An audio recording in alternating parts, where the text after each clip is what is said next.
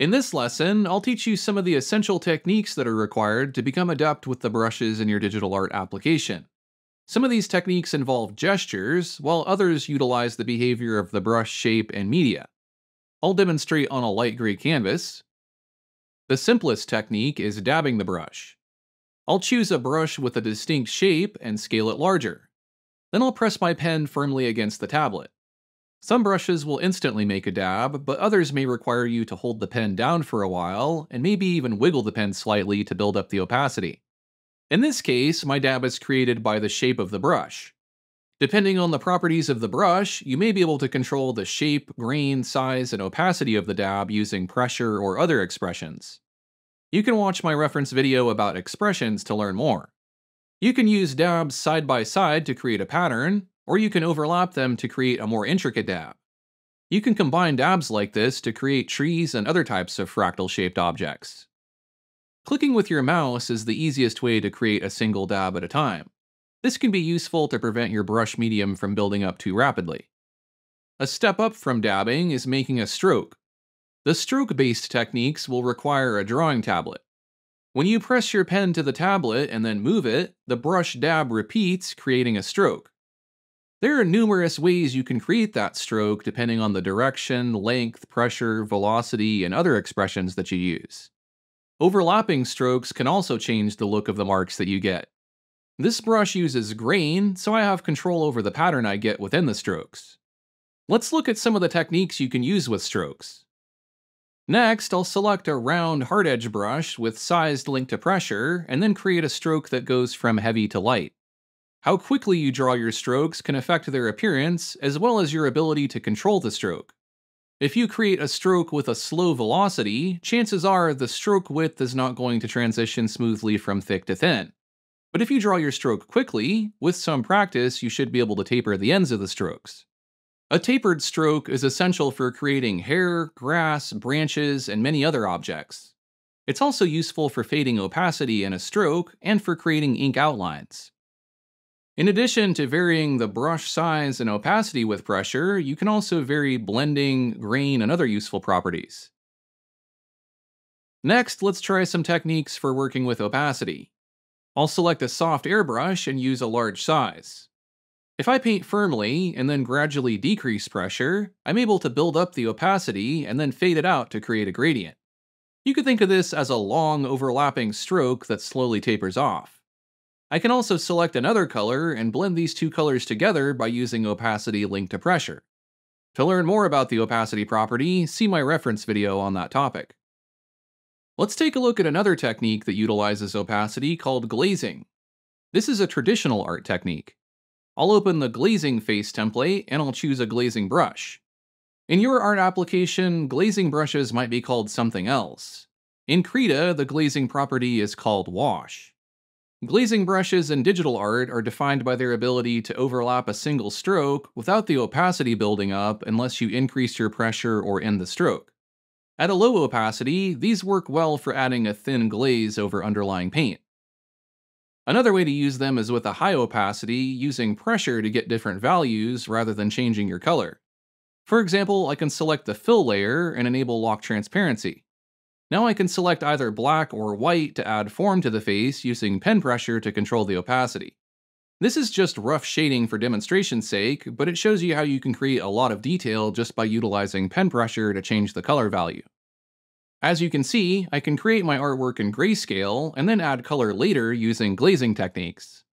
If you'd like to see more of this technique, I have a lesson about glazing a grayscale landscape painting. Next, I will open the Glow template and we'll take a look at another opacity building technique using a glow brush. A glow brush is a brush that is set to the blending mode of screen or something similar like color dodge. When you overlap strokes, the color builds up lighter to create a glowing light effect. I'll choose a darker color that matches the hue of one of my stars, and if I paint on a layer that is also set to screen, I can create a glowing halo around the star. I can use pen pressure to modulate the opacity, and I can lift my pen and make more strokes to build up the glow. If I make my brush smaller, that can help the light look more concentrated in the center. And then to feather out the glow, I can use a larger brush. Working back and forth between large and small will give you the best results. If the glow is building up too slowly for you, choose a brighter color. Another way to use glow is with a fine brush to create rim highlights on an object. I'll load the pencil template, and let's take a look at a dry media technique that utilizes pressure to control opacity. I'll choose a grainy pencil brush that supports the tilt expression. The 2B pencil in Corel Painter or the tilted pencil in Krita are a couple of examples. The shape of this brush should elongate when you tilt your pen. I'll select a dark gray color, and if I sketch with this brush upright, I can vary the opacity of my pencil marks using pressure. I can also tilt my pen to simulate shading with the side of a pencil. In addition to widening the dab, it further reduces the opacity, so now I can more easily build up gradients like I could with the airbrush. Overlapping several strokes will build up the pencil darker. Choosing a lighter or darker gray and adjusting the grain or paper strength can help simulate various degrees of pencil hardness. You can also add color to the pencils and blend them together. Next, I'll share some techniques for freehand drawing curves and lines. I'll select a hard edge round brush that is fully opaque with size linked to pressure. Most art apps have a brush like this. In Clip Studio Paint, it's called a pen.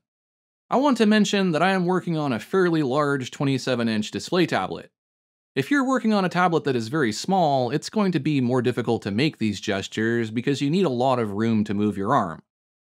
Let's start with a straight line. I'm going to try to keep my wrist and elbow locked, and I will draw using my elbow as the axis of motion. I'm not drawing using my wrist, I'm not drawing using my fingers, it's all in the elbow. Don't focus on what you're doing with your pen, just concentrate on getting the gesture right. Once you get the arm movement down, begin to work on the velocity of your stroke. You want to make a fluid, fast stroke so that the line doesn't have time to wobble. Once you get the hang of it, you should be able to draw fairly straight lines. For curves, the arm movement is the same. You want to draw from your elbow. A medium velocity works best to get a smooth curve. With some practice, you may even be able to draw freehand ellipses. Another way to draw curves is to plant the ball of your wrist on the tablet surface and use it to constrain the movement of your line. As you can see, the pen is on the tablet, but my motion is constrained around the axis of my hand. You can also segment your lines if that works better for you. In fact, sometimes it looks better stylistically if your line isn't completely solid. Rotating your canvas or tablet can also help you draw at a more comfortable angle. Let's move on to explore some of the techniques I use when working with textured brushes, such as chalk or sponges. I'll load the Primitive Shapes template and choose a chalk brush. Many art apps have a brush like this. It can be any shape, but it needs to have an eroded dab with a lot of fine holes in it. Next, I'll select the front side of the cube. I'll lock the transparency of the layer. This is often found in the Layers panel and can sometimes be called Lock Alpha or Preserve Alpha. Then I will paint with very light pressure so that the texture builds up slowly. If I want the texture to be stronger in some areas, I can use firmer pressure and overlap strokes to build it up. You can also layer up multiple textures. I'll select this green pattern that looks cracked. If I put some of that on top, it helps the texture look less repetitive. I can use the same techniques with a sponge brush on the top of the cube. I'll use light pressure to lightly add texture, or heavier pressure to make the texture stronger. What I am doing here is letting the shape of the brush and the grain create the texture for me. I just need to decide where I want it and how strong I want it to be. Now let's take a look at some blending techniques.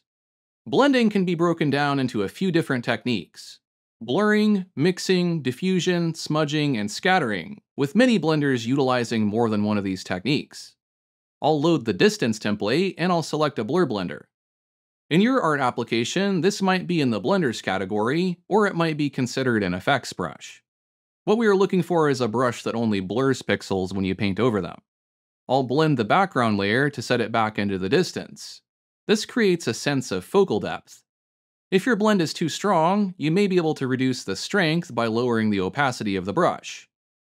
I'll reset the brush to its original strength.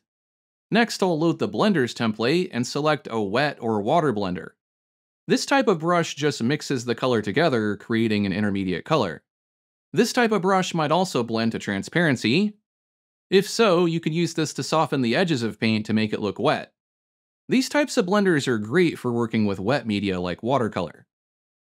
For a blend that is more dry and grainy, we can try diffusion style blending. The brush you want is a round brush that has a noisy dab with very fine speckles.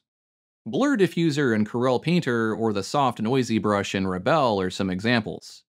In Corel Painter, diffusion scatters the pixels to mix them up, and this creates an intermediate color. This is a proper diffusion. Rebelle is sort of faking the effect. If you use a very light touch, you can lightly fuzz up the paint, or you can use heavier pressure for a stronger mixing of the pixels.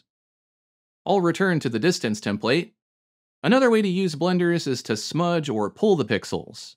You can use this to make your blending look oily or to create bristly looking effects like hair or grass. I'll select a smudgy blender with a speckled or rake-shaped dab.